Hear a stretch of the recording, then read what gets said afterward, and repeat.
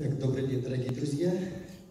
Ну, я попробую все-таки, раз тема у нас конкурсная, еще из конкурса э, стартануть на свою тему. Уважаемые коллеги, э, э, ну, в конкурсе э, я действительно с 2002 года, и, знаете, у нас родился очень на семинаре, тоже подготавливаем учителей, для того, чтобы они легче было участвовать в всероссийском этапе конкурса. Э, э, родился такой образ. Кто такой конкурсант? Э, конкурсант, когда приезжает, он же думает, что он из школы самый лучший, его послали. Самый-самый лучший. Что дает, какую возможность дает конкурс? У нас родился такой, такой образ, что учитель в своей школе, вот он как в костюме. И даже если он думает, что он уже так до крышки достал, то на конкурсе есть возможность вот эту крышку-то и приоткрыть. И посмотреть, а кто рядом. И иногда вдруг оказывается, что ты плаваешь и, и, и, и достиг а, а, крышечки, а она только литровая. А рядом стоит двухлитровая, трехлитровая, пятилитровая. И там даже педагоги, которые не достигли крышечки, они-то будут какие? И тут вот включается сравнение, педагогическая рефлексия. Вот э, Э, тема, которую я э, как бы избрал, она все-таки продиктована, мне Лора Николаевна сказала, что нужно э, вот с позиции современного образования. Какое образование? Анастасия Викторовна сейчас продемонстрировала образец практики да, того, как вот современное образование вплетается уже в профессиональное мастерство учителя, как, как учитель должен делать. А я позволю себе все-таки сделать шаг назад и проговорить, а почему учитель сегодня должен быть таким. И э, я знаю, что как бы здесь в основном присутствует, ну, много присутствует учителей, заместителей директора по учебно-воспитательной работы. Давайте вы поднимите руку, чтобы я признал вас. Спасибо большое. Потому что это как бы э, главный человек в школе по реализации учебно-воспитательного процесса. Да? А, потому что директору сегодня свалилось очень многое другое, а образовательный процесс как раз лежит на этих Э, обычно женских плечах, головах, и все шишки директора обычно-то летят э, на голову э, этих людей. Итак, поэтому я про вопросы и про возможности зачем.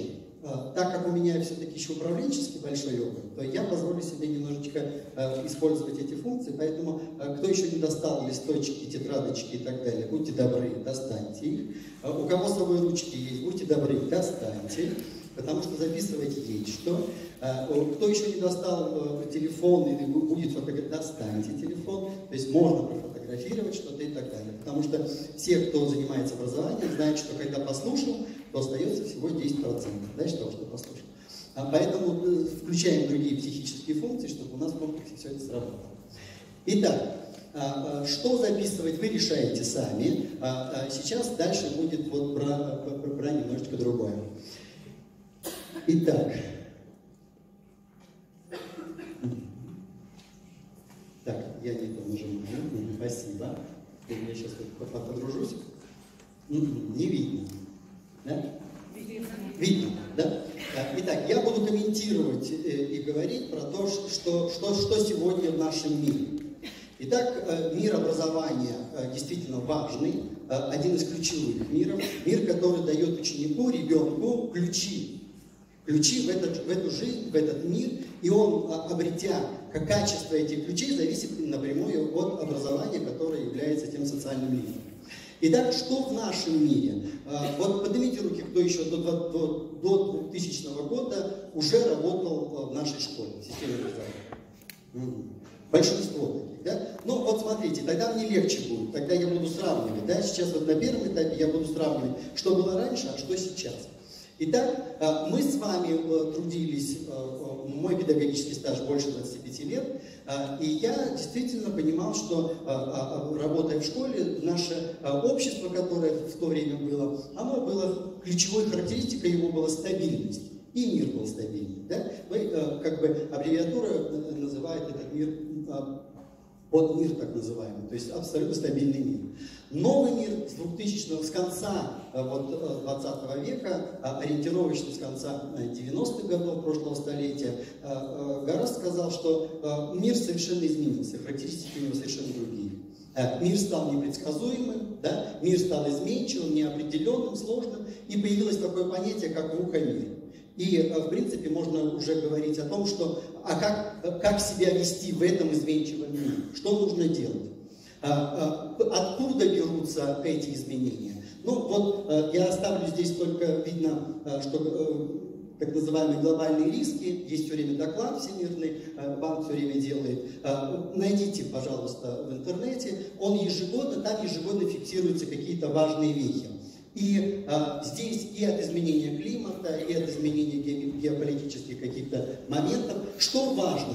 Важно, что мир совершенно меняется. И характеристики, вы смотрите, простые условия, сложные условия, запутанные условия, хаотичные условия, хаотичные условия. А, а, многие от слова хаос думают, да? Нет, хаос это, это тоже порядок. Но когда более одного порядка начинает когда два человека, вот э, э, у нас иногда в образовательных организациях тоже хаос, когда директор школы одну политику ведет, а зависит директор начинает другую политику вести. А, вот тогда э, как бы школа погружается в хаос. Что важно? А, важно в этих условиях понимать, а что тогда что на поверхности, какой опыт становится ключевым для демонстрации, для его тиражирования, э, как его найти, этот опыт. И посмотрите, в простых условиях мы всегда находим лучшие практики. Почему так? А потому что у нас есть возможность эти лучшие практики найти, разглядеть, условия потому что простые, э, э, длительные, стабильные. Да? А смотрите, в сложных условиях уже хорошие практики. То есть что это значит? Это уже значит даже нет времени разобраться, что же там ключевое, важное, интересное, сущностное. А, в запутанных и хаотических там уже совершенно другой род практик. Это я сейчас про что и как это связано с конкурсом. Несколько лет назад, лет, наверное, 10, я был, мой любимый музей в Москве, это музей изобразительных искусств имени Пушкина, и я попал на выставку французского рисунка. И когда я посмотрел вот экспозицию, первая моя мысль была, а, ну есть дети, которые начальной школы точно, которые лучше рисуют, чем то, что там было изображено. Да? И я, и первая была мысль, как это попало в один из лучших музеев нашей страны. Ваше предположение. Почему? Почему рисунок стал искусством?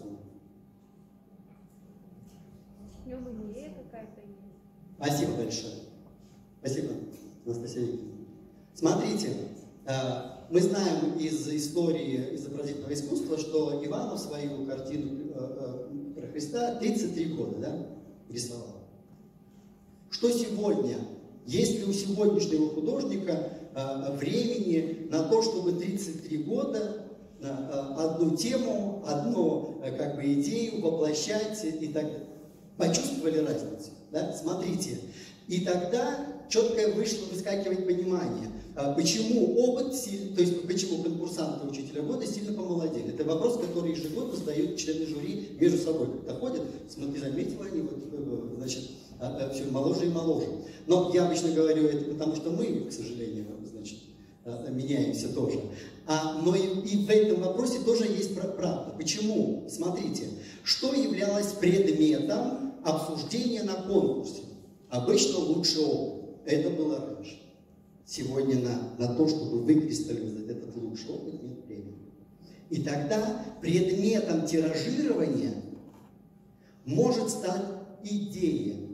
Предметом тиражирования может стать модель поведения, модель э, коммуникации, модель взаимодействия, она уже через 2-3 года сформировалась, эта модель, и эта модель уже сегодня может тиражироваться в педагогическом сообществе.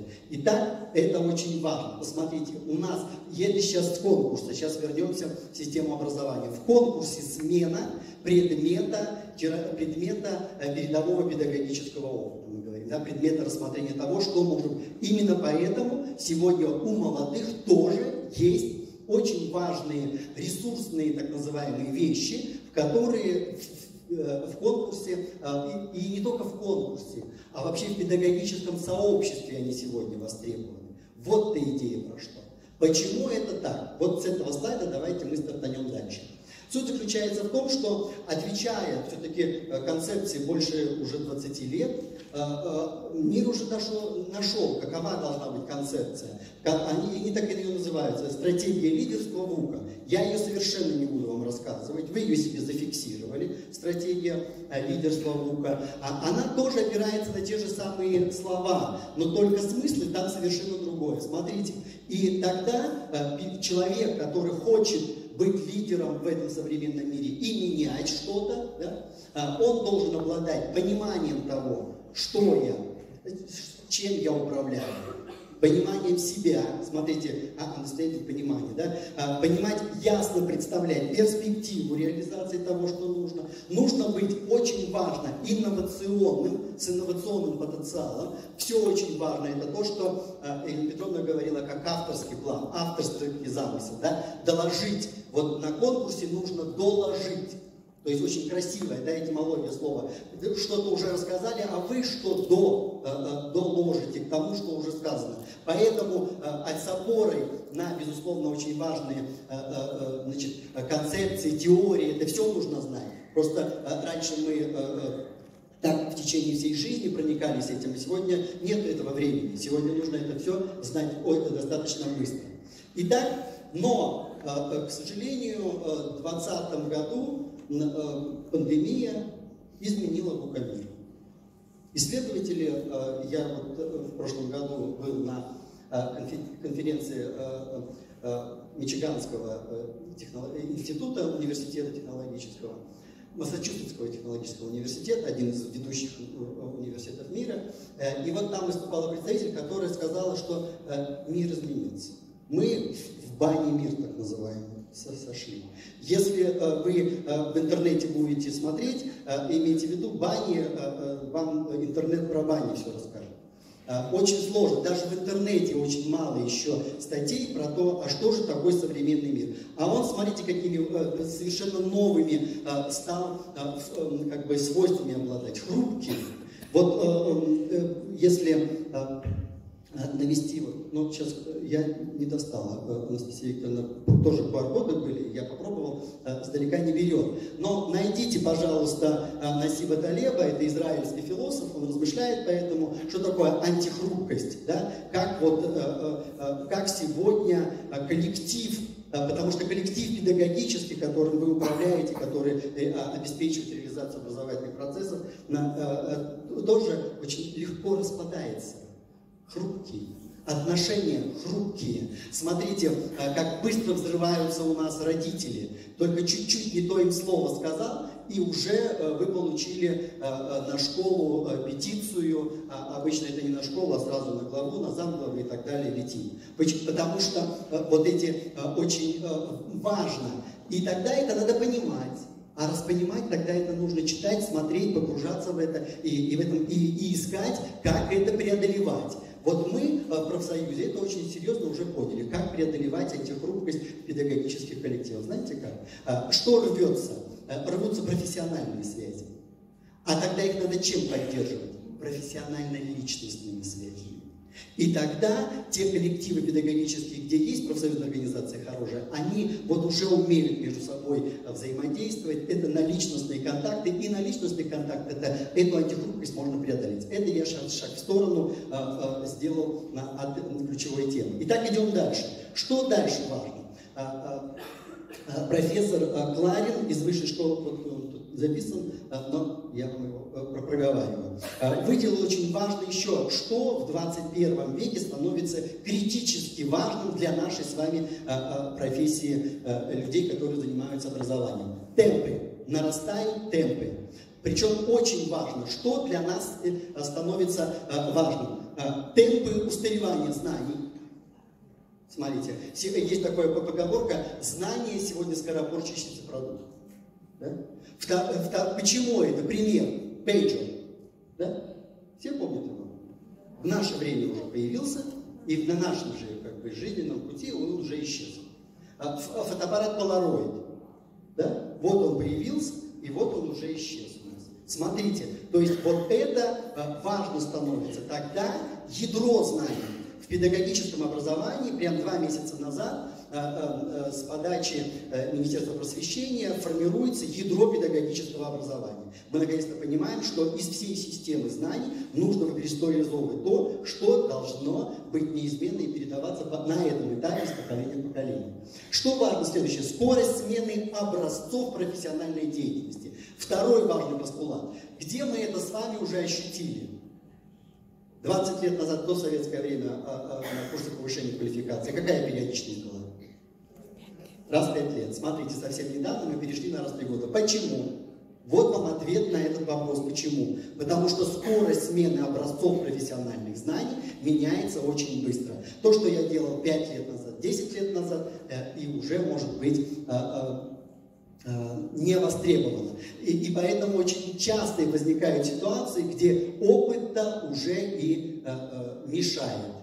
Потому что социальная ситуация может быть совершенно другой. И иногда даже у нас а, у этого опыта реализации нет, хотя бы вроде бы с большим педагогическим стажем и так далее. И поэтому только с опорой на молодых а, а, можно решать какие-то важные вещи. Что дальше? Пример того, как, какова эта скорость. Смотрите, примеры. А, а, я показываю вам технологии, которые реализовывались, а, которые вышли на 50-миллионного пользователя. И вот сколько времени понадобилось этой технологии на то, чтобы выйти на 50-миллионного пользователя. Смотрите, телефону понадобилось 75 лет. Радио. Смотрите, почти в два раза э, э, быстрее. Телевидение. Смотрите, да? все наши э, э, э, значит, компьютеры, социальные сети, и вот даже уже там Твиттер появился. Твиттер первый пробил дно потолок годового, что за год, смотрите, меньше чем за год уже технологии пользовались более 50 миллионов пользователей. Но и уже это не предел, уже пробит как бы потолок месяца, 35, а, не месяца, 35 дней. Как вы думаете, что? ТикТок? Спасибо. Еще варианты. Погромче. Предложение, да? Мессенджеры. Угу. Спасибо. Нет? YouTube. Слышь, нет? Телеграм, Инстаграм. Угу. Нет? Не буду долго мучить. Играем, ребят. 35 дней, 50 миллионов пользователей. Но и это уже не предел. Есть нечто, которое за 19, дней, за 19 дней пробило дно 50 миллионов пользователей. Предложение? Майнкрафт. Спасибо, что знаете. да, спасибо. Еще варианты? Покемон Go. Итак, смотрите, вот на этом слайде можно уже зафиксировать важные сейчас для нас вещи. Первое – скорость. Да? Это раз вещь, которую мы фиксируем себе. Второе, что очень важно, а, это, смотрите, две технологии последние. К какой сферы деятельности относится человечество? Что? Развлекательный. Развлекательный. Игровой контент. Игры. Итак, смотрите, игровая технология – что такое игровая технология? 19 век считается веком романов. Самый лучший роман, если хотите, это вот там. 20 век считается веком кино. Самые лучшие технологии и так далее, которые распространяли, которые, которым увлекалось все, наше, все, все общество и так далее развивалось. Это было кино. 21 век мы с вами шагнули. Век игры. Именно поэтому геймификация сегодня очень важный ресурс, который сегодня... Почему? Потому что дети уже с, как бы с младенчества, они в игре, они через игру, наши все профессоры от педагогики, игровой тип деятельности являются ключевым на первом этапе развития, но сегодня он не только первого этапа, да, как бы ключевой, а может быть формой для реализации дальнейших, как бы на всех последующих этапах развития. Сегодня в бизнес пришла игра, в политику пришли игры, да, и в образование. Я сейчас делаю шаг в сторону, а, мне кажется, очень важно про игру сказать, потому что здесь а, а, раз люди, которые проектируют образовательный процесс, на что обращать внимание надо. Ну, вот у меня супруга, она учитель английского языка, и у нее есть один из кадетских классов в Москве, есть. Я думаю, что по всей стране есть кадетские классы. Ну, понимаете, мотивация изучения английского языка, она и в обычных классах, даже сильных, не очень-то, да, хороша, а уж в классах специфических тоже есть свои особенности. И мы с ней придумали очень важный такой момент – геймификацию. То есть, раз класс кадетский, то значит, что они понимают, что они знают. Про лычки, о том, как звание расти и так далее. И мы запустили игру. Как задание, система заданий, контроля домашних, творческих работ формируется, в баллы переводятся, баллы образуются на что влияют? На новую лычку. Два месяца игры. Кто быстрее дорастет до генерала, да? армии. Красиво? Красиво. Интересно детям, они понимают это? Да, они понимают это, потому что это легло на их социальную ситуацию развития, на их образовательную ситуацию. Что важно из геймификации? Старт и выход обязательно из игры. Почему важно из игры выходить? Потому что нельзя наше с вами образование превратить только в игру. Да? Мы с вами это знаем, это ценность, но ресурсы и функции, которые сегодня есть у тех социальных технологий, которые мы используем в образовании, как образовательную технологию, мы должны использовать. Вот как можно, вот как вкрапливается да, идея какая-то, как она сегодня может реализоваться. Возвращаемся я сюда. Итак, а, ну темпы, смотрите, я вам показал компании, то есть технологии, которые на 50 миллионов пользователя, уже есть миллиардные пользователи. И вот здесь как раз все наши мессенджеры, которые вы проговорили, с левой стороны, Facebook, YouTube и так далее, WhatsApp, они уже вышли на миллиардного пользователя. Итак, что важно? А, э, что это за темпы такие? Это так называемый экспоненциальный э, рост, да? не линейно. Я два раза сказал, и два раза мне ученик ответил. Нет, а экспоненциальный такой быстрый рост. Для того, кто про экспоненциальную математику, поднимите руку. Спасибо большое. 4, 5. Я тоже математик по базовому образованию. А, значит, геометрическая прогрессия. Что мы говорим про витки развития, да? Мы говорим, что все развивается по, по, по спирали. 2 в 6, 2 в 7 геометрическая прогрессия. Дельта между ними 64, ну в данном случае числа, я как бы 64 пункта назовем. 2 в 6, 2 в 7, то есть это один шаг в этой функции. А теперь посмотрите, 2 в 16 и 2 в 17. В этой функции на другом, э, как бы уже витке, это тоже всего лишь один шаг. Но посмотрите, дельта какая. Разница между ними 65 тысяч. И с последующей уже в миллионы и дальше, посмотрите. То есть вот наше с вами общество, вот в такое мы с вами, вот как сыпется э, э, как бы сверху. Э, есть уже такое, что вам просят доклад или что-нибудь прислать срочно, вчера. Да? Поднимите руки, кого это раздражает. Спасибо большое. Ну я вот тоже стою. А, а, смотрите, первое, что нужно сделать, перестать раздражаться. Вот на эту ситуацию надо перестать раздражаться. Второе, почему это? Почему это так? А, а вот все, вот отсюда, почему, почему это так? Вот отсюда. И тогда я сейчас обратно из лекции делаю шаг в сторону, анекдот. Встречаются пессимисты и оптимисты. И пессимист говорит, ой, так плохо, вот так плохо, хуже уже некуда хуже уже некуда. А оптимист говорит, будет еще хуже, будет. Поэтому вот с таким оптимизмом смотрим на то, все то, что происходит. Ясно? Будет хуже, волноваться по этому поводу не надо, а надо искать инструменты и ресурсы, которые есть в нашем обществе, которые, э, как бы в нашем современном мире, которые это позволяют преодолевать. Итак, что еще критически важного для нас? А, для нас критически важно, что появляются новые профессии. Атлас профессий Сколково, а, а, поднимите, кто уже работает по ним. Атлас новых профессий. Одна рука.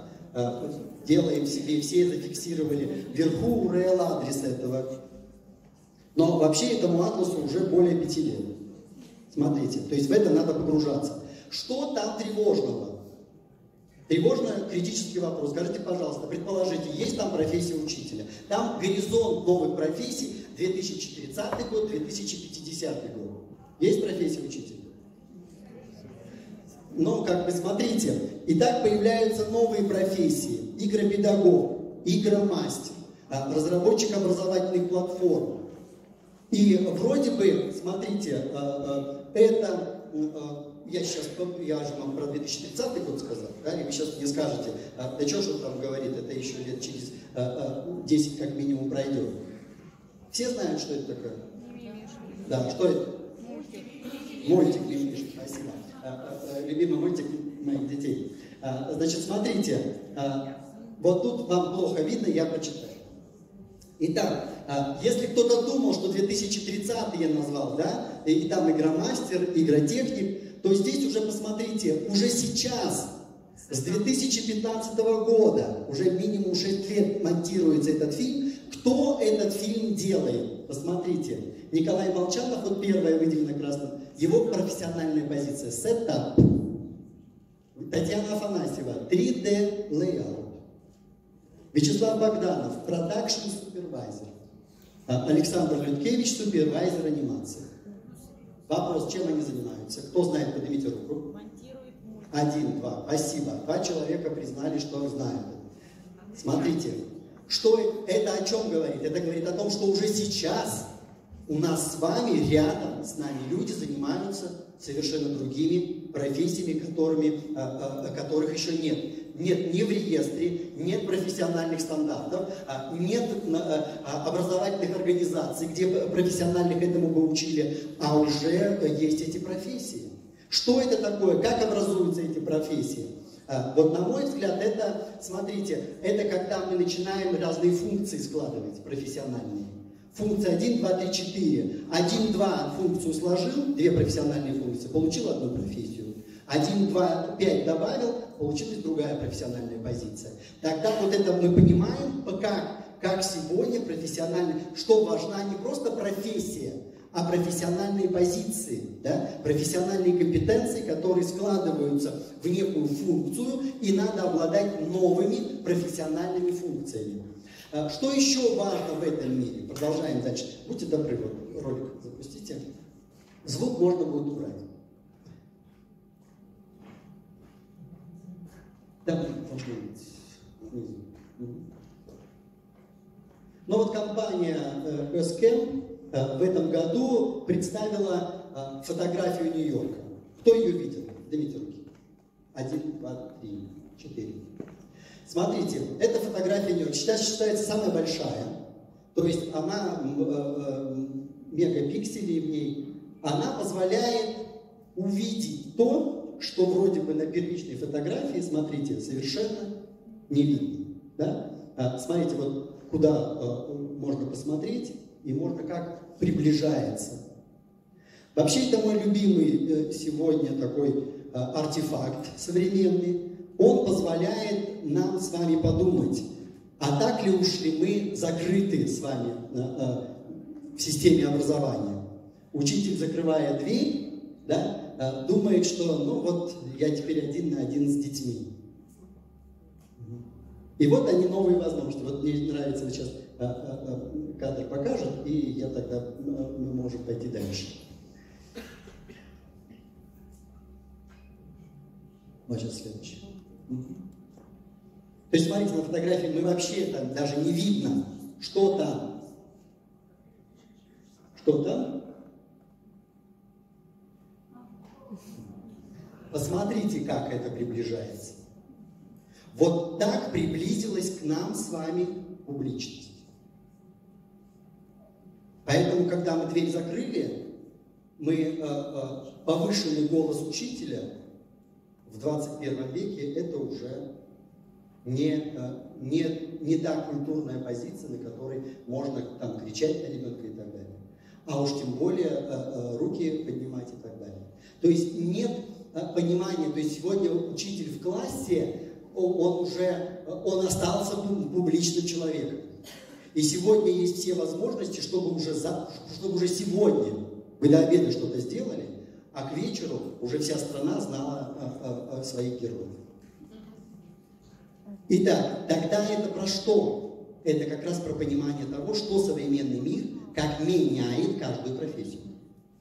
И даже в закрытых, казалось бы, э, нам все время говорят, э, э, школа должна быть открытой, а учебный кабинет мы все время закрываем, да, вот как бы, а, и даже учебный кабинет сегодня должен быть вот таким, в понимании. Можно следующий слайд? А вот. Но это про новые данные, я позволю себе его пропустить. Единственное, вот здесь остановлюсь, что сегодня мы становимся свидетелями трансформации. Именно современный мир – это мир трансформации. Самый простой пример. Очередь. Кто вот в нашем 20 веке стоял в очередях? Дмитрий. Спасибо большое. А, а, смотрите, мы все, кто стоял в очереди. Во-первых, э, э, я стою, я, Раиса Гидулина, стоит в очереди. Да? Я, вы, я знаю, кто впереди меня стоит. Да. Я могу даже поговорить, причем это мы и делали. Да? То есть вот оно, то есть я знаю людей, то есть это часть моей жизни. Сегодня, когда вы в Сбербанк приходите, там тоже есть очередь. Но как смотрите, какая трансформация произошла. Вы остались, э, э, вас как идентифицируют? По вашей личности? Нет, вам присвоили номер. А, а, а, эта технология позволяет вам разговаривать? Нет, вы не знаете впереди стоящего вообще. А лучше вообще не разговаривать, потому что не услышишь, когда номер принесут. Смотрите, то есть вот она трансформация. Здесь я показал, э, посмотрите, э, помните, кто ходил с магнитофоном э, на поминах? Поднимите руки. Кто видел? Спасибо большое. Да? Посмотрите, а сегодня, то есть магнитофон вообще где? То есть сегодня магнитофон уже практически никто не покупает, потому что сегодня потоковое видео, потоковое аудио, да, вот оно в конце. То есть мы облачные сервисы совершенно трансформировали это понимание. В этой связи смотрите, где страшно, где страшно. Картинка справа. Биосфера и техносфера. Вот эта э, э, тема философская Вернадского о ноосфере, да, оно становится все более и более актуальным. Человек какое место в этом новом мире будет занимать? Сегодня техносфера, к сожалению, вторгается в нашу как бы, жизнь. И э, э, э, я сейчас на картинках покажу даже как. как но чуть попозже. Что еще нового, важного, принципиального? Новые поколения. Все это понимают, что дети современные, они совершенно другие. У них другие игры, у них другое мышление. А, я могу вам привести пример. А, у меня... А, так, это вот сейчас кто видео делает, как бы надо отключить. Значит, так, немножко перефразирую, значит, по-другому. Но примерно скажу. А, значит, суть примера. А, э, я помогал значит, студенту э, э, заочного факультета. А, я помогаю, я по базовому образованию математику, сдаю математику. Значит, идентификацию прошли там всеми, там, да, как бы все, как бы первый этап, что сегодня высшее образование у нас как бы дистанционно требует. А дальше уже все другие помогают для того, чтобы за 30 минут успеть все это сделать. И смотрите, какой интересный момент. Вопрос, э, платформа такая, что не позволяет копировать, надо его печатать. И мы впечатываем вопрос, да, как бы для того, чтобы э, получить быстро из интернета какие-то ответы и там что-то приложить. Подходит к нам мой сын, ему на тот момент было 5 лет. Нажимает на планшете микрофон и говорит, что нужно найти.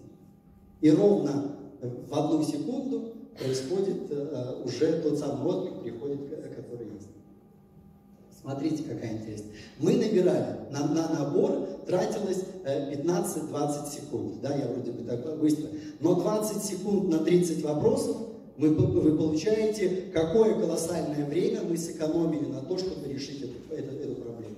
Откуда? А он в мультике так, он нажимает там, а, а, уже знает, как нажимает, там, мимимишки или там, а, значит, э, э, царевны и так далее. То есть вот оно новое поколение. Дальше не рассказываю, потому что э, единственное скажу характеристику, э, концепция пока не признается всем миром о связях этих поколений, но что-то там интересное есть, потому что мы с вами в одном культурном пласте находимся, да? в одном э, пласт культурный, а раз мы все поколения, то понятно, что что-то такое у нас общее есть. И в этой связи эта концепция, она действительно есть. Но тут она глубже, она про психологические психотипы, реакции психологические, психические процессы. И поэтому поэтому нужно почитать. Вот исследование э, э, Сбер, так называемый э, наш Сбербанк проводил, и оно доступно, вы можете почитать, я про это не говорю. А почему это важно? Потому что молодые педагоги, я сейчас заместителем директоров по учебно-воспитательной работе больше говорю, молодые педагоги, они совершенно другие, совершенно другие условия нужны. У меня как бы наша семья учительская, нас пять, пять детей, все учителя стали, я последний. У меня старший брат одно время был директором школы, и у него был такой период, он э, приходит счастливый в сентябре. Что такое? От, оторвал трех молодых. В августе раздавай, раздают обычно. А, значит, э, э, значит, привез. Довольны, значит, э, трое. Сентябрь заканчивается, в октябре встречаемся, печально и грустно. Что такое? Он говорит, ну двоих бы уже сейчас не нужны, как бы, уже отправил обратно туда, где были. Да, а, а с одним еще как бы вижу, что можно помочь, что-то слепить можно.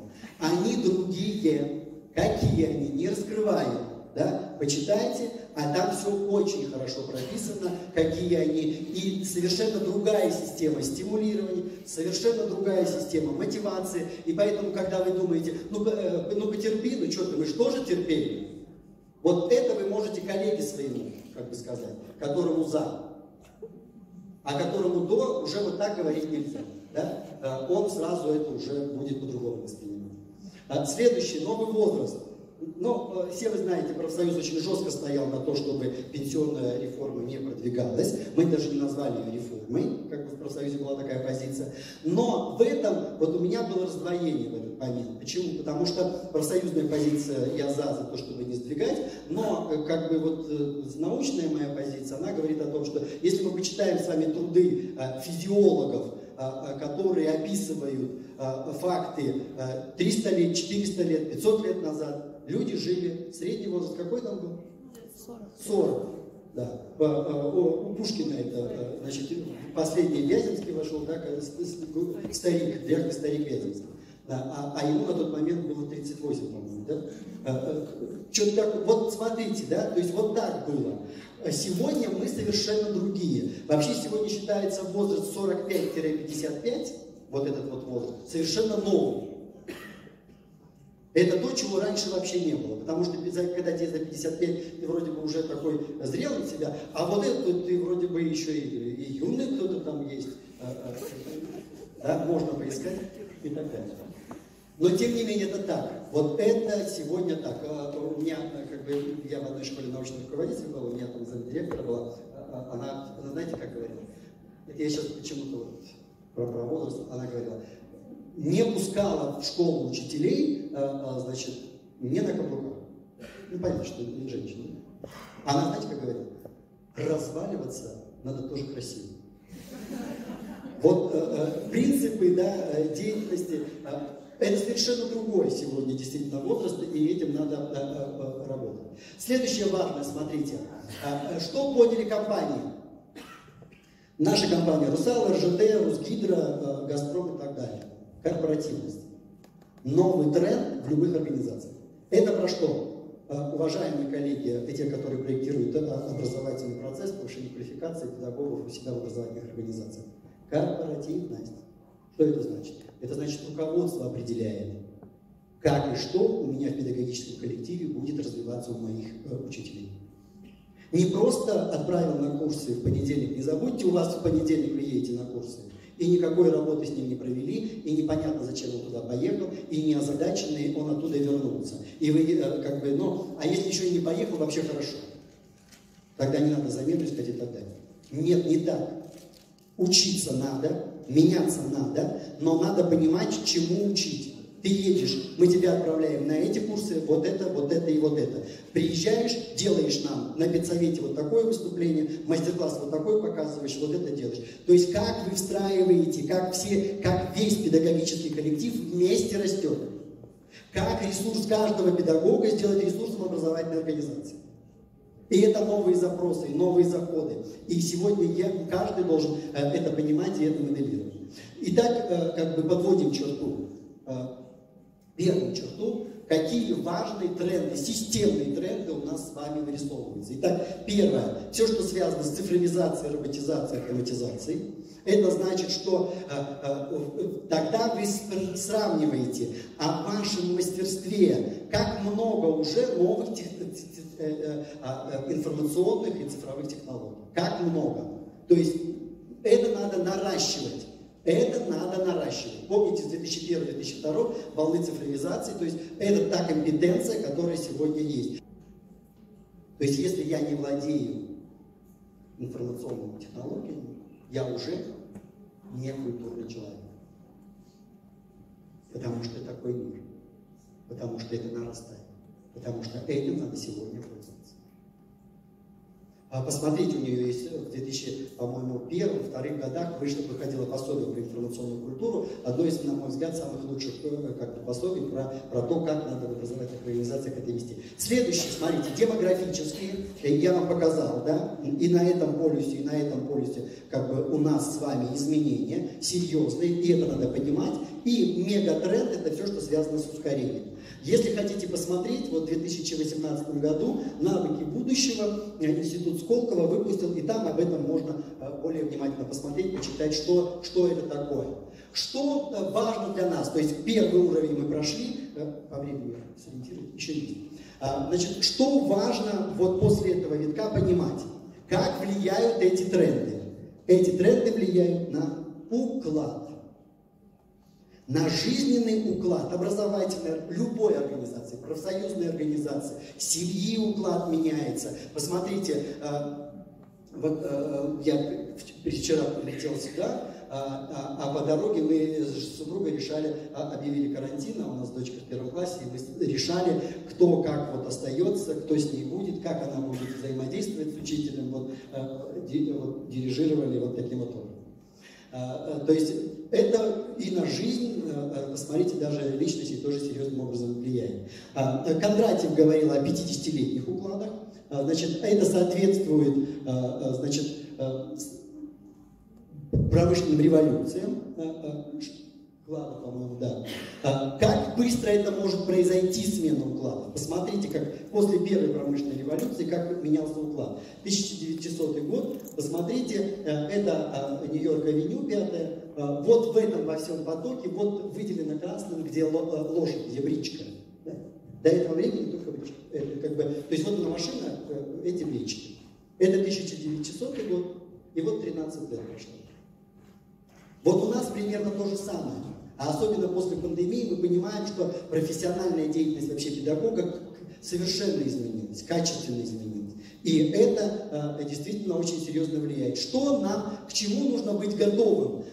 Как предвидеть, как предвосхищать, что нужно э, любому сегодня человеку от образования понимать.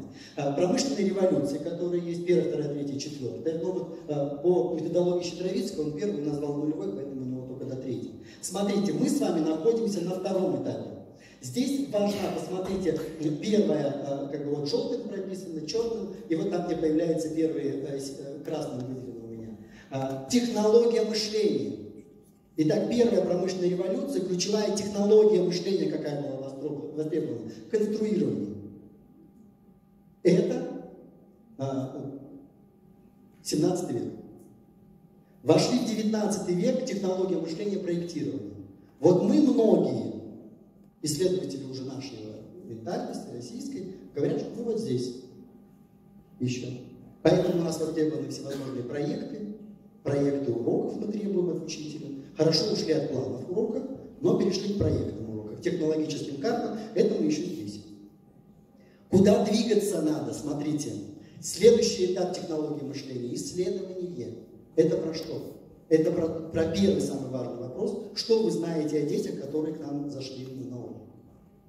Что вы о них знаете? Вы знаете их э, семейные условия? Вы знаете, какая у них ведущая модальность? Вы знаете, какие у них э, э, значит, психические функции? Итак, это вот про это. То есть сегодня учить, э, а, а, развертывание образования не может развертываться на среднего ученика. Сегодня мы должны персонализировать индивиду, индивидуальные все формы должны зайти. А для этого только через исследовательскую компоненту. Что я как учитель уже, какие анкетирования, тестирования, что я выявляю, как я преобразую свою профессиональную деятельность. И здесь очень важный вопрос, я сделаю, сделаю первый вот такой восклицательный знак. Кто вечером, когда готовится к завтрашнему уроку, размышляет, ага, я вот это должен рассказать, я вот это буду рассказывать, вот это нужно пример, на этих примерах я покажу. Поднимите руки, кто так размышляет. Спасибо большое. А кто так не размышляет? Поднимите руки. Кто мыслит по-другому? Спасибо, я иду к вам. Как вы мыслите? Давайте. Ваше мышление. Мы же про технологию мышления. я не размышляю, что я буду спрашивать и как я буду спрашивать. Я ставлю перед собой какую-то проблему и потом, как ее решить. То есть проблемы моего больше. Спасибо большое. Поднимите руки, кто понял. Что сейчас? Так, вы поняли.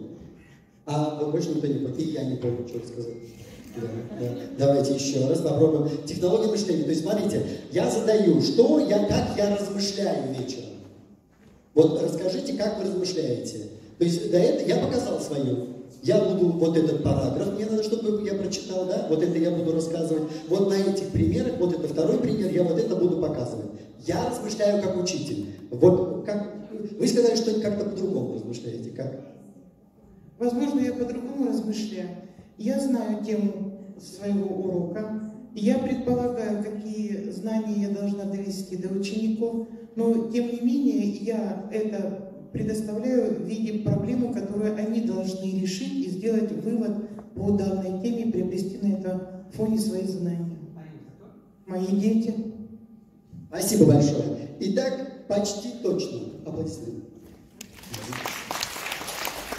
Итак, смотрите, э, в 2009 году мы мало кто об этом вообще вот э, фокусируется на этом. Э, поднимите руки еще раз, заместитель директора по учебно-воспитательной работе. Спасибо большое.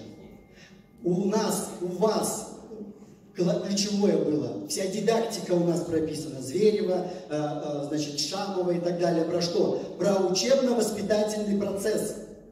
Предметом труда учителя выступал учебно-воспитательный процесс. Я моделировал его, что я буду делать, что я должен сделать, чтобы эта тема у меня раскрылась.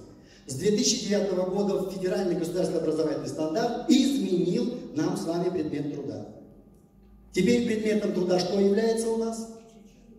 Не моя деятельность, а деятельность учеников. И я вечером должен про что про них, что они завтра у меня будут делать.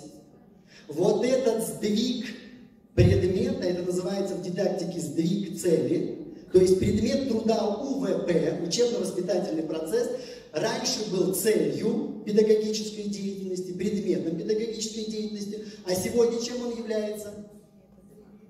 Громче? Инструмент. Вот инструмент мне нравится, средством. Спасибо большое учебно-воспитательный процесс становится средством для реализации других задач, потому что Федеральный государственный образовательный стандарт определил результаты образования, а они где находятся? На ком? У кого они? Образовательные результаты наши с вами. У детей. Мы должны у них сформировать предметные, метапредметные и личностные результаты. Предмет прицепился к детям, тогда вот она, ловите. То есть вот она ключевая дидактическая. Я вообще считаю, что я приехал для того, чтобы вот эту фразу вам сказать.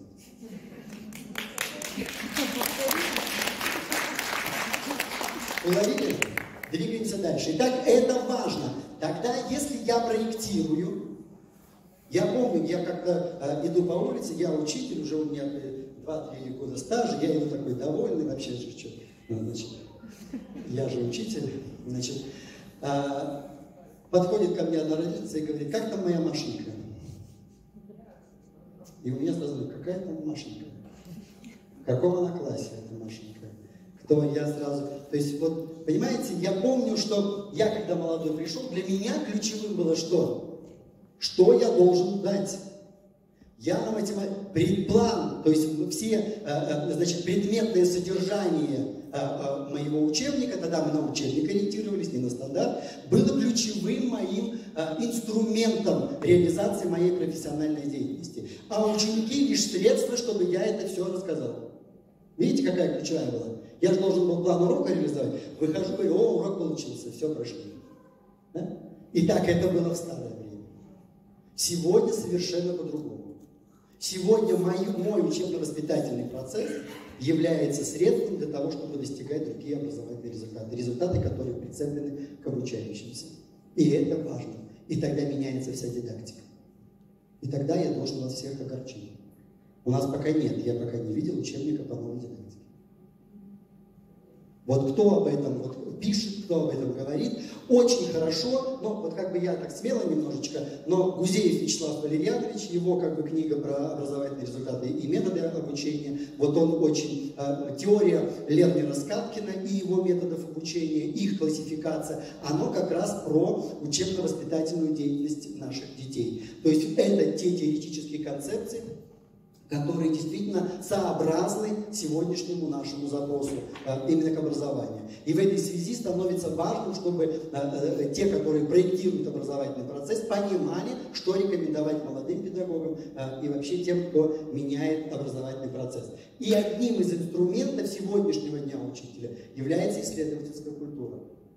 То есть сегодня, раз я, мои образовательные результаты прицеплены к ученикам, я должен точно знать, меня 25, как, чтобы последний, э, значит, э, да, в кавычках, как сделать так, это как зимнее говорит профессор, да, как сделать так, чтобы самый, э, значит, не, не мотивированный, не успешный ученик, но стандарт образования я должен до него довести.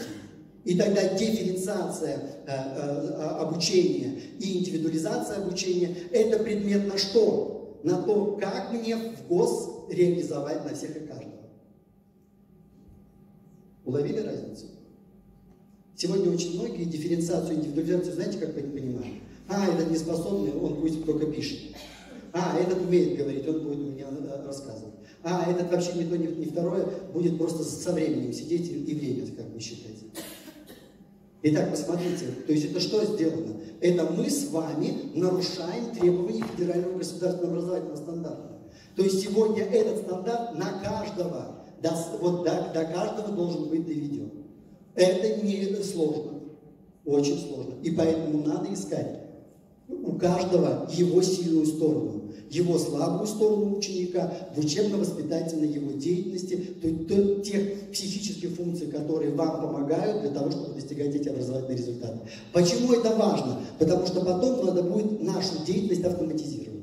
А это через программирование. Мы все готовимся к четвертой промышленной революции, но я считаю, что вот давайте посидим, хорошо отрабатываем вот это мышление, связанное с проектированием образовательного процесса и смена субъекта деятельности в этой проектировании Итак, дидактическая концепция, кто записывает? Смена субъекта деятельности, ключевое в проектировании образовательного процесса. Не от учителя, а от ученика. Это если мы еще начинаем проектировать. И второе, это вся та исследовательская культура учителя. Ее развивать надо, ее надо поощрять, ее корпоративно надо заводить специалистов, которые будут формировать эту исследовательскую культуру наших учителей. И тогда все сегодня педагогическая аналитика – это ваш новый ресурс. Что она у вас есть? Она у вас есть педагогическая аналитика. Как вы следите за тем, чтобы а, а, а, а, дети все наши понимали? Итак, что важно в этой связи?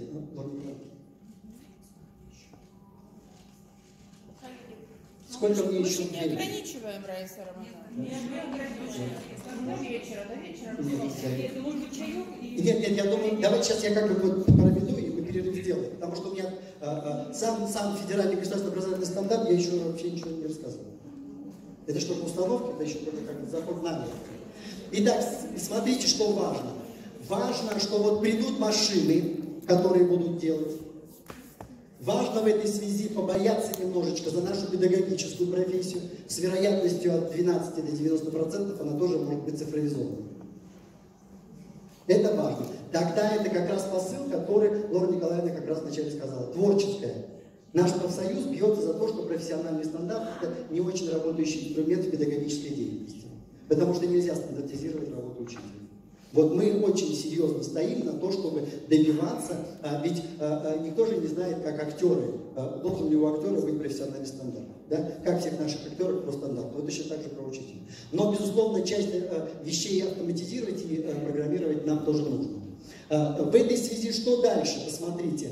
Надо бояться вот ту техносферу, ее надо действительно бояться, но а, не слишком бояться, неправильно говорю, да, неправильно слово сказал, не бояться, а, а сегодня вкладывать в наших детей, которые будут жить уже в новом, формировать компетенции нового времени. Знаете, что ключевое? У роботов ну вот, вот это мы, наверное, пропустим, а вот, вот этого, давайте мы вот запустить.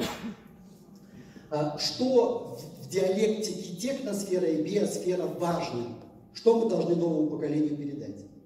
Мы должны им передать, что а, а, когда только в конце 19 века научно-техническая революция произошла, и тогда уже философы размышляли, а научно-технический прогресс это что? Это усиление функций человека или замещение функций человека? Вот смотрите, кто стоит на замещении? Замещение тех функций, которые в каких-то условиях человек не может сделать. Вот надо вот эту обязательную приписку делать. То есть э, в комнату с большой радиацией не надо, чтобы человек зашел. Робот, вот это надо доверить роботу, потому что человек это действительно в этой ситуации сделать не может.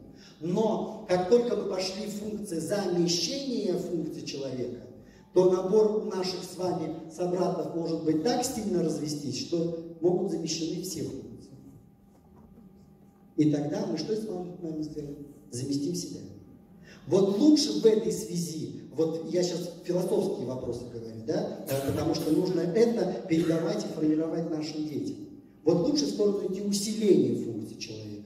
Машина, да, хорошо, нас усилили в скорости передвижения. Телефон хорошо, да, потому что это нас усилило. Но я, моя человеческая функция у меня осталась. И в этой связи вся любая концепция на усиление функций человека, э, те же самые экзоскелеты, которые появляются, да, это очень хорошо. Я основной инструмент, да, я остаюсь человеком, который в этой жизни, в этой жизни, надеюсь, дальше будет э, жить. Хотя многие футурологи говорят, что 21, 21 век это последний век, где человек живет как э, цельное живое существо. Все остальное пойдет гибридное его состояние. Э, потому что мы увлеклись вот этим, к сожалению, всем, э, э, как почку другую, лицо другое, красоту другую и так далее. Итак, это посмотрите, вот можно запустить, не запускайте, не хочет. Ну, найдите, посмотрите, вот цифровой гуманоид, андроид Амека. Вот он уже даже эмоции, то есть сделали робота, который эмоции даже значит, показывает. А тогда давайте мы посмотрим вот предыдущую слайд, и вот того робота страшного, которого я убрал, значит, попробуем его запустить. Получается? Да, да, да. Его. Этот ролик пойдет?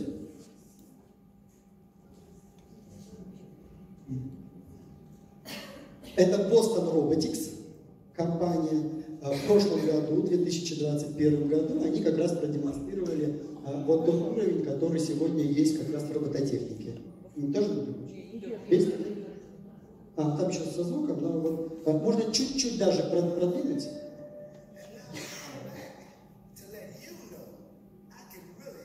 Можно чуть-чуть прям, чтобы нам засветили.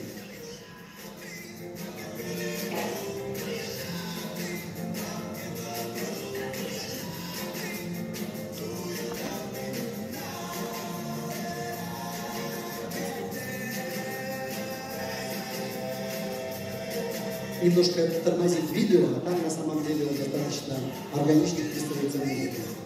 Ну, достаточно. Посмотрите этот ролик, э, э, мне стало страшно. Я не знаю, как вам. То есть это вот как раз концепция замещения человека.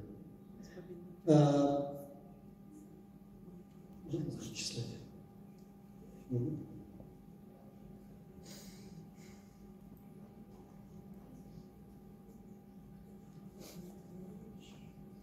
Идет? Ну, э, давайте как бы дальше посмотрим. Что еще важно? Потому что сейчас мы как раз, э, э, мне кажется, выйдем на образование, и я позволю себе штрихами уже дальше проговаривать на то, как сегодняшний мир меняется. Уклады, значит, дополнительной реальности, это я пропущу, да, как бы, то есть это действительно сегодня тоже новый ресурс, надо пробовать, кто уже 7D э, пробовал а, покататься вот с запахами, с водой, чтобы побрызгало и так далее. То есть это вот два-три человека. А, смотрите, это очень. Боятся действительно цифровизации. Посмотрите, тоже не буду запускать, но найдите, например, Микела, так называемое лицо 2018 года, журнал Билд назвал ее лицом значит, индустрии. То есть это так называемая индустрия моды говорит о том, что все цифровизация. То есть я не буду сейчас запускать ролик, да, то есть там в технологическом, в цифровом мире вот она живет. У нее, посмотрите, сколько подписчиков, 3 миллиона. Поднимите руки, э, э, у кого сегодня какое количество подписчиков? Анастасия Викторовна, у вас сколько подписчиков? Немножко. Э, спасибо. Я могу в этой связи свою боль сейчас сделаю шаг в сторону. Меня в этом году попросили выступить на Ярославском форуме. Значит, это евразиатский культурный диалог. И я готовился неделю, неделю не спал, размышлял, что я буду рассказывать, неделю как бы презентацию готовил. Знаете, сколько посмотрело мое выступление? 118 человек. И я вот думаю, и здесь очень важно Ресурсы образования и ресурсы культуры. Итак, если мы хотим развиваться, то надо знать следующее. Э, очень часто, э, первое, что надо понимать, образование – часть культуры. Это ключевое. Культура сегодня меняется. Именно поэтому меняется постоянно образование. А культура делает интервенцию в сторону образования. Вопрос, как образование на это реагирует? Отвечает ли оно на все культурные вызовы, которые представляет современное общество? Это первый вопрос. Самый легкий пример. Э, у нас в школе не курят. За забор, пожалуйста. Вот пример. Культурный вызов есть? Есть. А образование решает эту проблему? Она отгораживается. Вот если так часто с вами мы будем отгораживаться от всех проблем, то тогда от образования будет съеживаться. И ничего не останется. И тогда важно понимать, что сегодня, вот я считаю, что э, вот использовать инструменты современной культуры, а сетевые ресурсы – это уже элемент ТикТок и так далее – это тоже инструмент культуры. То есть это не призываю ни в коем случае всем идти в ТикТок, э, совершенно не. Не говорю о том, что, э, э, что сегодняшние социальные сети – это как бы вот панацея и так далее. Нет, я не про это. Я про то, ключевое, они-то там, а мы от себя, от нашего поколения, что туда им дали? Кто является нашим с вами проводником из нашего профессионального сообщества, которое пойдет в эту среду и там сформирует те самые культурные артефакты, которые они должны э, взять для того, чтобы не прервалась вот эта цель цивилизационная. И та миссия образования, которая должна быть. Потому что миссия образования – это трансфер культуры. Трансфер культуры миссия образования. В двух ипостасях. От прошлого э, э, будущее через настоящее. Это первая трансферная линия. И вторая трансферная линия какая? От более инновационной к менее инновационной. Почему? А потому что культура в настоящем развивается не сплошным текстом, а очагами.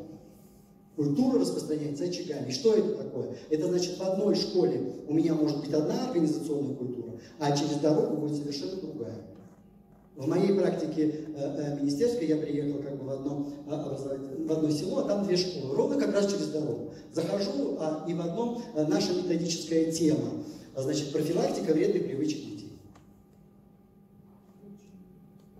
То есть, понимаете сразу, во что они, значит, детей погрузили. Да? Про что говорят, про что делают, как говорят и что делают. Перехожу через дорогу. Наша методическая тема – формирование здорового образа жизни. Итак, посмотрите, набор элементов педагогических инструментов будет один и тот же. Дискуссии, да? Э, значит, спортивные мероприятия, э, э, завлечение значит, родителей и так далее. А акценты это совершенно другие. Во что погружаем? Вот это важно осознавать. То есть и в этой связи культура в каждых образовательных организациях, она действительно будет совершенно различна. Поэтому ходить надо в гости. Обязательно. Общаться, выходить на все эти площадки. и двигать свои педагогические коллективы к тем, которые сегодня уже э, говорят, делают на том современном уровне культуры, который есть. Итак, что надо, э, я это пропущу все, презентацию я, наверное, оставлю, да, для того, чтобы можно было передвинуть, но я хочу, это я тоже трансформация труда, я об этом вам примерно что-то сказал. Это типы квалификации, тоже я все пропущу. Единственное здесь сделаю, все, что как бы творческое, посмотрите, за последние годы, все, что творческое, все, что не рутинное, становится, явля, является предметом а, деятельности педагога. А, в этой связи посмотрите, а, а, действительно новый предмет труда, я вам про него немножечко сказал, э, это о том, что а, так называемые белые а, значит, воротнички у нас сегодня приходят. Итак, и тоже второй подводим черту. Вторая важная черта. Второй слой прошли с вами. Про, э, если первый был философский, да, второй э, как бы э, из философии образования, уже методологически. Итак, важно, у нас новый социокультурный контекст у системы образования. Связан с новым поколением, новые ценности, которые у этого поколения, новые компетенции, которые сегодня востребованы, и все, что связано с цифровизацией. Новый социокультурный контекст современного образования. Итак, в этой связи, как меняется образование? Прям тезисно и на этом завершу. Итак, первое. Сущность. Обучение должно стать обучение как опыт. Опыт деятельности. Опыт, все через. Все, что ребенок может сделать сам, он, хором 3-4, должен делать сам. Спасибо большое. Это вообще вся идеология любого управления сегодняшнего. Все, что ребенок может сделать сам, он должен делать сам. В этой связи ни в коем случае не переводить ему э, вопросы, которые только что он прочитал. Он сам это может, он может прочитать. Первое, не читать за него. Ни в каком классе. Потому что на открытых уроках, на которых я бываю, сплошь и рядом. Задал вопрос учитель, пошли секунды, 1, 2, 3, 4, 5. Ученики же уже просекли, сколько надо ждать, чтобы учитель. Что начал делать? Сам они выключили. Все. Они уже ждут. Поэтому вы, что бы не хотели, они... Тогда у вас должна быть другая система. Они должны знать, что в любом случае вы их спросите. И в этой связи, а, ну, все-таки я, наверное, здесь как раз сделаю а, а, пример этот. Когда я учился сам в школе, у нас в школе маленькая школа, у нас поселок был городского типа, одна школа весь поселок. И у нас было два учителя истории. Мы считали, что нам так повезло, у нас была Жанна Ивановна. Она, оказывается, мы потом узнали, она была из МГУ. То есть она закончила исторический факультет МГУ, и вот ее по распределению отправили аж в Казахстан. Учился. Так вот, и вот она просто эрудит. Она чего только не было, э, чего только не знала, где она только не была. Любая, любой отпуск – это для нее новая археологическая, помогайте мне, экспедиция, да. Когда она приходила и спрашивали мы ее, а что вот там, что она начинала делать? рассказывать, упоенно рассказывать, потому что она все знает про историю, э, э, э, это ее вот с таким увлечением она умела рассказывать. Когда приезжала в школу комиссия, кому вели? к Жанне Ивановне. И комиссия выходила восхищенная. Ах, какой замечательный урок! Точка, восклицательный знак. Ах, какой замечательный урок! Учитель так много знает. Смотрите, мерка, мерка урока через кого? Так, это я пока зарисовку сделал, вернемся к этой зарисовке. Продолжаю дальше. Но когда Жанна Ивановна заболевала, или отправлялась в очередную экспедицию, то нас подменял другой учитель, Евгений Васильевич. Евгения Васильевна организовывала занятия по-другому. Она была другая. Никто не проскочит, никто не пройдет. Она, мы заходили в класс, она говорила, так сели, открыли учебники, страница такая-то, параграф такой-то, Нашли циферку 1 перед параграфом. Раньше параграф обязательно циферками помечались, потому что структурные единицы были выделены, потому что это сложно иногда сделать детям. А сегодня, к сожалению, этого нет. методически упустили этот момент. Итак, читаем. Минуту на то, чтобы прочитать. Время пошло. Мы слышали, какие были часы. Мы все сидим читаем. Минута заканчивается, она смотрит, один голову поднял, второй, третий. Немцы любят число три, после третьего уже можно начинать продолжать урок. Итак, э, она говорит, все прочитали, молодцы, нашли вопрос номер один к, к тексту. Параграфа. Нашли, прочитали этот вопрос? Так, все прочитали? Спасибо. На этот вопрос отвечает, дальше обязательно педагогическая пауза. Потому что это элемент технологии. Технологии мотивации. Мотивация бывает побудительная, а бывает через негатив, избегание негатива. Да? Итак, что мы сейчас в? Не знаешь, когда кого, начинаешь что? Соображать. Итак, соображают все? Соображают все, потому что любого спросить. И так все соображают. И так она, и тут у вас уже, смотрите, спектр возможностей. Можно а, а, а, поднятую руку ответить, да, кто второй поднял, кто первый. И так тут можно спросить, кто, кто вообще не понимает. Отвечает Иванова. Иванова. Отвечай. Иванова встает, отвечает. Отвечает, отвечает. Все, спасибо большое. Э, Петрова. Иванова все сказала? Спасибо большое. Петрова нет дополнения. Спасибо. Сидорова, все? Закрываем тему? Все сказали? Все, хорошо, спасибо, молодцы. Двигаемся дальше.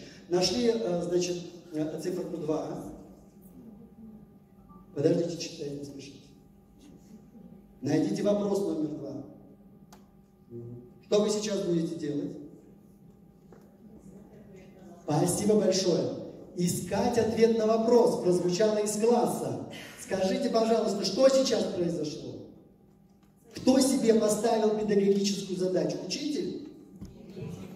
Ребенок сам поставил себе педагогическую задачу, что он сейчас будет читать и искать ответ на тот вопрос, который он только что прочитал. Вот она, технология, как не учитель говорит, а мы передаем эту технологию э, уже в сторону ученика. Ученик становится субъектом, взросла у него субъектная позиция, взросла. Итак, Спасибо большое, абсолютно правильно. Итак, еще две минутки вам даю, кто найдет.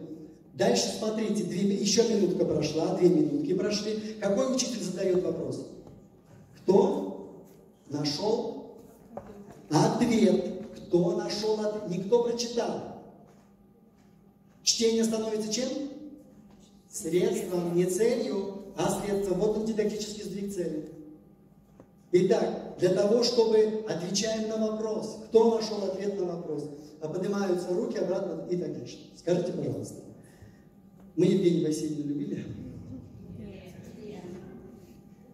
Я ученик тогда шестого класса, моя мама учительница. Я приходил домой и говорил, мама, Евгения Васильевна вообще не знает историю. Она нам на уроке ничего не рассказывает.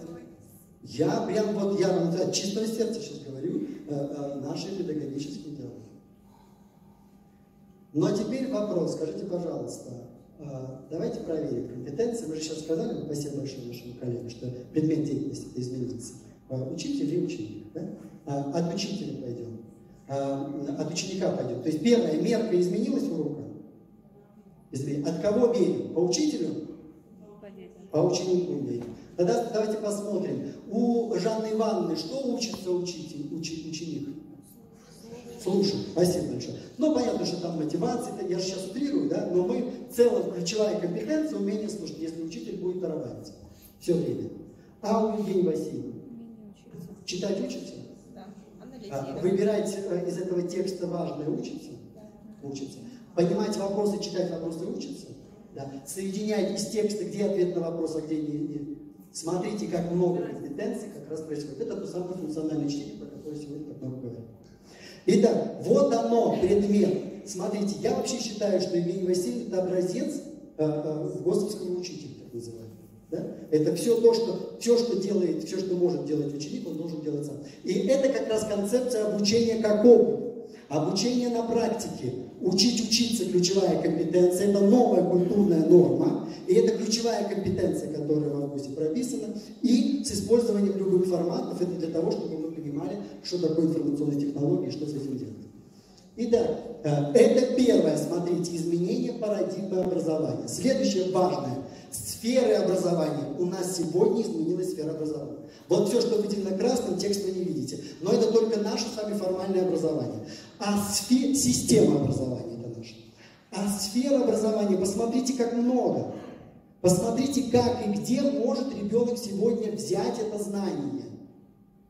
Надо только организовать это раннее развитие, а, а, повышение квалификации, сообщества, а, образовательные команды и так далее. То есть это сегодня новая совершенно реальность, где ребенок и любой, как бы сегодня взрослый, становится э, частью вот этой новой парадигмы образования. И тогда образование через всю жизнь – это новый тренд образования, который мы сегодня должны реализовывать. Что важно? В 2016 году да, на Давосском форуме была представлена одна из концепций результатов образования, образовательных результатов. К чему должны стремиться? Образование, так называемое 4.0, об этом очень серьезно говорили. Кто видел этот, эту, эту схему? Поднимите руки. Один, два, три. Пять лет, Мы отсюда, вот вся ваша... Э, а кто мучается уже с функциональной грамотностью? Чтение? Смотрите, мучает, вот оно отсюда пришло из 16 года. Посмотрите, представлена концепция, которую очень четко разделили на три больших так называемых блока образовательных результатов. И слева фундаментальные знания по математике, языковая культура, естественно-научная грамотность. Это как раз то, что сегодня вы занимаетесь функциональной грамотностью. Вот это тот блок, который сегодня важен. Почему? Почему это важно? Почему язык, математика и естественно-научная культура становятся важными? Кто готов ответить? Я кольцую почему? Я кольцую. Я начинал с чего? Образование – ключ. Ключи в этот мир. Ребенку надо дать ключи в этот мир. Почему это важно? Надо отсоединиться от учителя. Учитель не должен быть всегда рядом. Тогда ему надо передать ключи, сказать, как с этим работать и отправить его. Через что? Что это за ключи? Язык. Он должен уметь сам читать. Если он умеет читать сам, тогда на, слава Богу, я уже его не держу, он около меня не держится. Вот это важно. Математическая культура. Почему важно? Кто смотрел на интервью э, Кравцова и э, э, не Познера, а э, Прима э, балет, э, Большой театр. Цискоридзе. Цискоридзе. Кто? Руки. Кто видел это интервью? Один, два, три. Посмотрите занимательное интервью Цискоридзе, то есть Кравцов почему-то решил следствие с Цискоридзе, и Цискоридзе его, грубо говоря, нашего министра и э, обошел по некоторым важным понятиям. Как? А Цискоридзе дал вопрос, а зачем надо учить математику? И Кравцов, вроде бы математик, сам он начал говорить про что? Про, про цифры, про то, что математика важна, надо уметь считать и так далее. Математика – это про мышление. Ни одна наука не развивает так мышление, как математика. Почему? А потому что абстрагирование, синтез, анализ, классификация, все сравнение. То есть вот это важно. И тогда именно математика. Именно поэтому ПИЗа э, проверяет именно это. То есть ТИЦ э, и э, э, да, и ПИЛС э, это две как раз, которые про математику и про язык. А третье, смотрите, естественно, научная грамотность, потому что жизнь-то надо это понимать. И поэтому тогда ПИЗа и с его, естественно, научным всем компонентом, это тоже здесь. Итак, это вот здесь, смотрите, а функциональное почему прошло? Потому что в 2018 году мы с вами откатились по исследованиям ПИЗа, росли, а теперь мы провалились. Почему? Причем провалились не в том, что места мы как бы, э, как бы плохие, плохие стали места, хуже стало по всем показателям. Хуже другое. Там есть, э, значит, э, э, уровни первый, второй, где функционально как раз у нас увеличилось с 15 на 18 год количество детей, которые не преодолели вот этот барьер. Вот где было страшно. Вот почему мы сегодня все прыгали в школу, и пришла функциональная грамотность. Итак, но смотрите, продолжаем. Итак, это здесь важно предметное содержание. Здесь важно предметное содержание. Тогда возвращаемся к вопросу Задачи э, показал я, как, чтобы дети ставили. Задачи на урок ставят дети, каждый сам себе. А цель урока кто ставит? Поднимите руку, кто считает, что дети.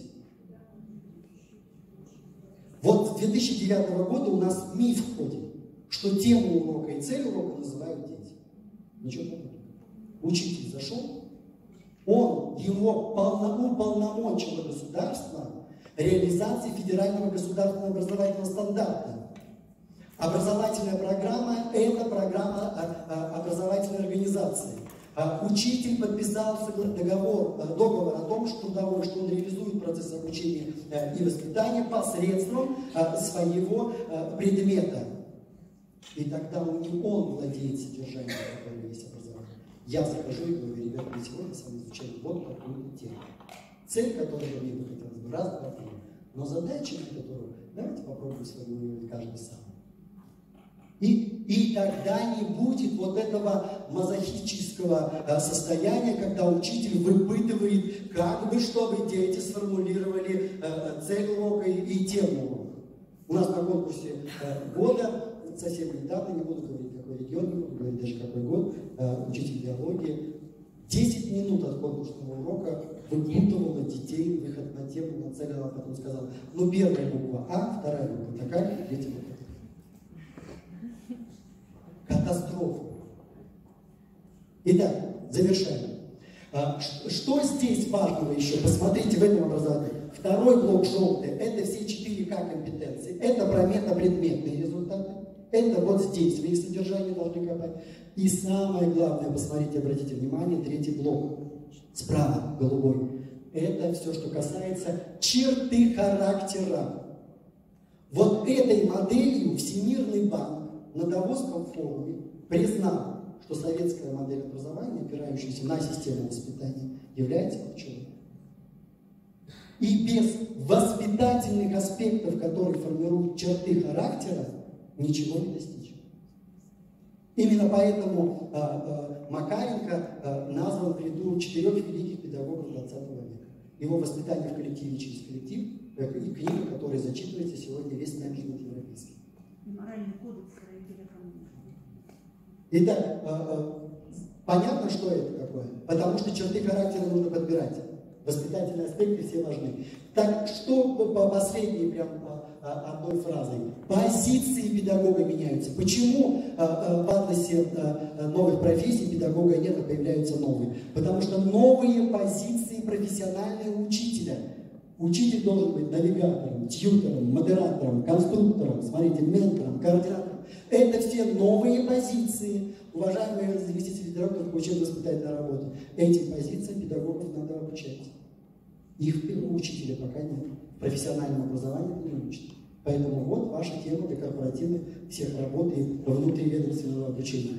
Итак, что важно понимать, что сегодня предметное содержание лишь только часть компетенции учителя, новая модель профессионализма. Нужно, чтобы сегодня учитель умел коммуницировать, управлять навыками, командные навыки, навыки публичного выступления, лидерства и так далее. Колесо профессионализма серьезно изменилось. Что нужно и тоже? Нельзя сегодня работать вслепую. Нельзя сегодня просто удерживать статус-кво. Нельзя сегодня на интуиции работать. Надо работать на новых данных, на новой аналитической культуре.